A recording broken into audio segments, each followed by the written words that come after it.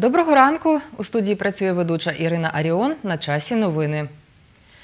Одна аварія сталася цієї ночі у Хмельницькому. Водій автомобіля Mercedes-Benz, виїжджаючи з місця стоянки на вулиці Кам'янецькій, 109, зіткнувся з автомобілем «Шкода» та втік з місця аварії. Згодом водія затримали та склали протокол про адмінпорушення. В аварії ніхто не травмувався. Про це повідомив керівник прес-служби патрульної поліції області Роман Мартинюк. За його словами, цієї ночі на автодорозі М12 Стрий Знам'янка також затримали водія з ознаками алкогольного сп'яніння. У службі 102 зафіксували 59 викликів.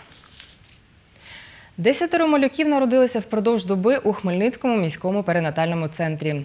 Як повідомила чергова акушерка медичного закладу Юлія Кирилюк, з них шестеро хлопчиків і четверо дівчат. Найменша вага дитини – кілограм 870 грамів, найбільша – 4 кілограми 750 грамів, розповіла Юлія Кирилюк. Центральну площу селища Нова Ушиця реконструюють. Роботи проводять на ділянці площею 58 сотих, повідомив голова Новоушицької об'єднаної тергромади Олег Московчук. Згідно з проектом на оновленій площі встановлять ліхтарі та нові лавки, облаштують пішохідну зону і кишені для автомобілів. Завершити реконструкцію планують до Дня селища, яке у Новій Ушиці відзначатимуть 19 вересня.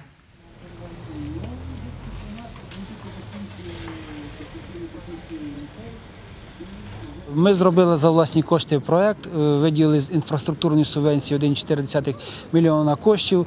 Е, Робиться все бруківкою, з різнокольорова буде бруківка. Тобто після завершення побачите вже результат, е, як е, приокраситься площа. В перспективі далі будемо дану площу також робити її капітальний ремонт, бо є центр селища ЦНАП, де велика є кількість відвідувачів. Центр повинен бути окрасою. Завтра в День українського кіно в обласному художньому музеї безкоштовно показуватимуть фільми про життя художниці Марії Приймаченко та розповідатимуть про її творчість.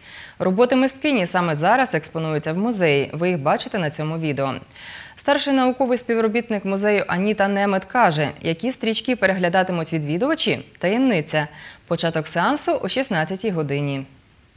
Є декілька фільмів, е, безперечно, вони більш е, документального характеру, е, які оповідають про її життя, про її творчість, чому насправді ця художниця настільки важлива.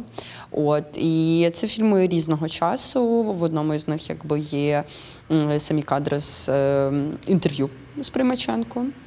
Хочеться просто якось оживити її присутність, е, присутність е, взагалі, якби її власні репліки, безперечно, її роботи вони говорять дуже багато.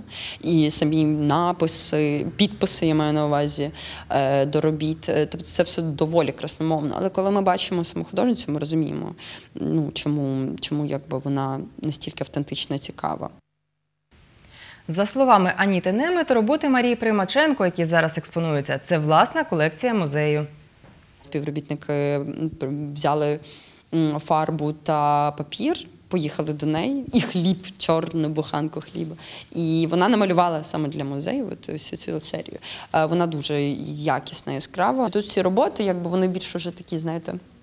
Усвідомлені, тут вже є своя композиційна форма і колір, який вона використовує, здавалося б, з одного боку занадто яскравий і еклектичний, але насправді вона вміє якось це дуже правильно поєднати. Нагадаю, виставка робіт Марії Приймаченко триватиме в обласному художньому музеї до кінця вересня. А ми на цьому завершимо випуск. На все добре.